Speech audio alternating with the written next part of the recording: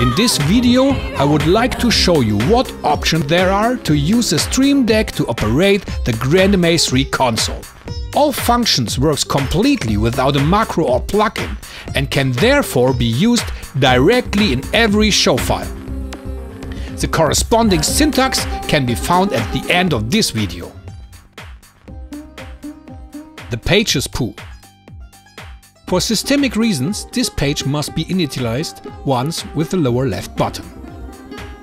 This overview is used to switch quickly between different pages. It is possible to change the labeling or use your own graphics.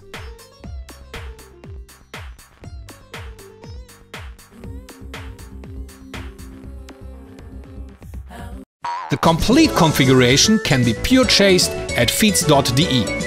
Now please click on the lower right symbol to subscribe this channel. And when you click the bell, you always know when there are new GrandMA 3 themed videos. In the upper right corner, you can come straight to another video that might interest you.